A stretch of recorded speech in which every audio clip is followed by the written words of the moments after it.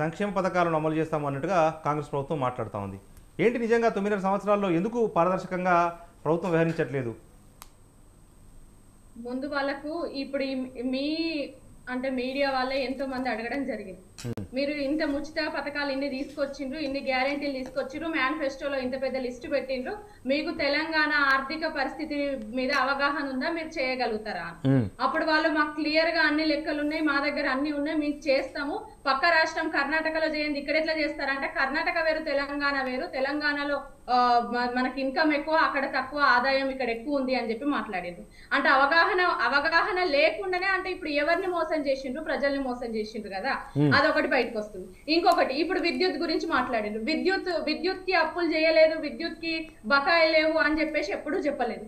తెలంగాణ రాష్ట్రం ఏర్పడినప్పుడు two thousand ఫోర్టీన్లో టూ థౌజండ్ ఫోర్టీన్కి ముందు అప్పుడున్న కిరణ్ కుమార్ గారు సీఎం ఎవరైతే ఉన్నారో ఆయన ఆల్రెడీ విద్యుత్లో మనము లోటులోనే ఉన్నాము అని చెప్పి పవర్ పాయింట్ పెట్టి మరి విద్యుత్ లోటులో. ఉన్నామని చెప్పింది అప్పుడు టూ థౌజండ్ ఫోర్టీన్లో మన ఇన్స్టాల్డ్ పవర్ కెపాసిటీ వచ్చేసి seven thousand seven hundred megawatts.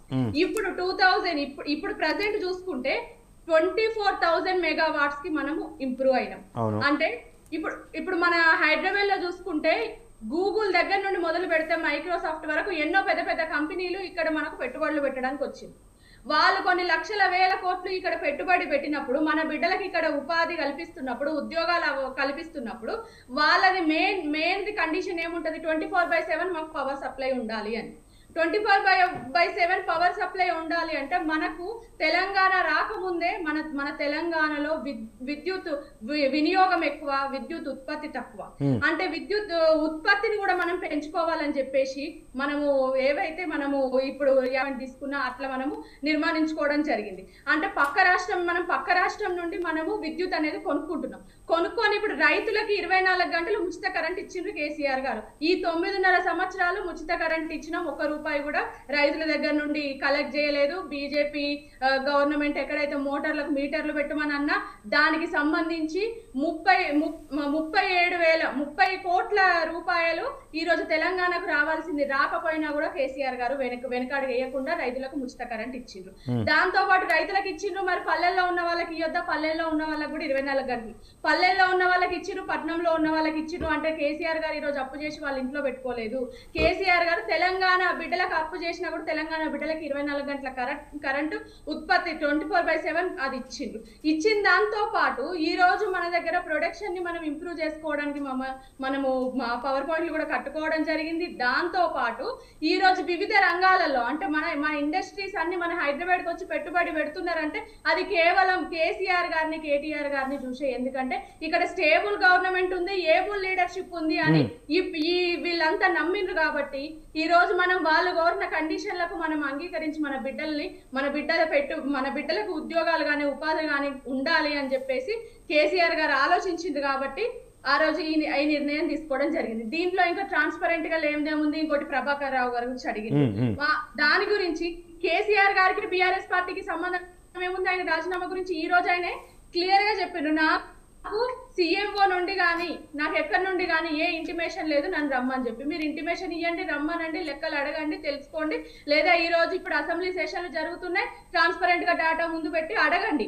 అది మేమేమంటున్నామంటే ప్రతిపక్షంగా ఉండి ఇంతకుముందు అధికారం అధికారం ఉండి ఇప్పుడు ప్రతిపక్షంలోకి వచ్చిన మమ్మల్ని మా మీద మీకు ఏమైనా అడగాలి ఏదైనా చెప్పాలి ఏదైనా డాటా ఇన్ఫర్మేషన్ కావాలి అని అంటే ఓపెన్గా అడగండి తెలుసుకోండి కానీ ప్రజల్ని ఇబ్బంది పెట్టొద్దు. అల్టిమేట్గా బీఆర్ఎస్ పార్టీ తెలంగాణ ప్రజల కోసం పుట్టిన పార్టీ తెలంగాణ ప్రజల కోసమే బ్రతుకుతున్న పార్టీ. ఈ రోజు కేసీఆర్ గారి గురించి నేమ్ బోర్డు గురించి అంటే అంత అన్న అంత సింపుల్గా చెప్పేసిండు. దాంట్లో చిన్న విషయాలకు కూడా అధిష్టానం వరకు పోతామా?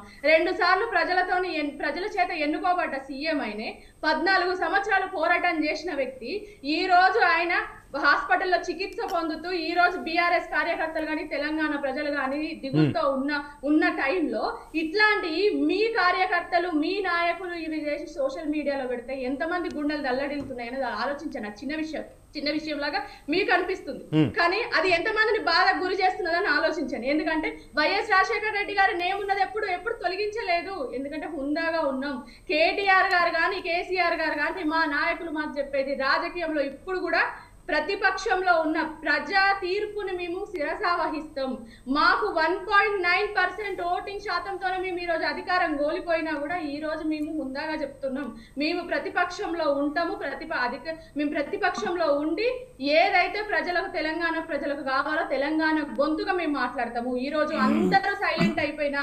తొమ్మిదిన్నర సంవత్సరాలలో మూడు సంవత్సరాలు వదిలేసి కేసీఆర్ గారిని ఎంతమంది ఎన్ని రకాలుగా మాట్లాడినా Hmm. ఏ ఒక్కరి మీద ఏ యూట్యూబ్ ఛానల్స్ మీద ఏ మీడియా మీద ఎవరి మీద ఎట్లాంటి యాక్షన్ తీసుకోకుండా హుందాగా వ్యవహరించారు వ్యవహరించిండ్రు కేసీఆర్ గారు. పక్క రాష్ట్రంలో పరిస్థితులు చూస్తున్నాం ఇక్కడ చూస్తున్నాం. ఎందుకంటే కేసీఆర్ గారికి అందరూ తెలంగాణ బిడ్డలే. తెలంగాణ బిడ్డలందరినీ కడుపులో పెట్టుకొని చూసుకున్నారు ఆయన. ఈ రోజు మేము తొమ్మిదిన్నర సంవత్సరాలు మీరు ఏం చేయలేదు కాబట్టి మీరు ఈ రోజు అధికారం కోల్పోయింది అన్నారు. తొమ్మిదిన్నర సంవత్సరాలు మేము ఏం చేయలేదు అని అనకండి. తొమ్మిదిన్నర సంవత్సరాలు మేము ఏం చేసినాం అనేది హైదరాబాద్ నడిబొడ్డున నిల్చొని అడుగుతూ చెప్తారు. తొమ్మిదిన్నర సంవత్సరాలు మేము ఏం చేసినాం అనేది ఏ పల్లెకు పోయాని అడుగు. ఈ రోజు మేము అధికారం కోల్పోవడానికి గల కారణాలు మీకు తెలుసు మాకు తెలుసు. ఇప్పుడు దాని గురించి మీరు ఏం చేయలేదు అంటే కేసీఆర్ గారు తెలంగాణకి ఏం చేసిండ్రు అనేది ప్రతి వ్యక్తి తన గుండె మీద చేసుకొని ఆలోచిస్తే తెలుస్తుంది. ఈ రోజు తెలంగాణ. పుట్టిన బిడ్డని ఈ రోజు తెలంగాణను అన్ని రంగాలలో ముందు పెట్టింది కేసీఆర్ గారు. కేసీఆర్ గారు అనే మూడు అక్షరాలు మీరు చెరిపినంత మాత్రాన చరిత్రలో చెరగదు. మీరు బోట్ల మీద జరుపుతారు చరిత్రలో మాత్రం చెరపలేరని చెప్తున్నా. Right right okay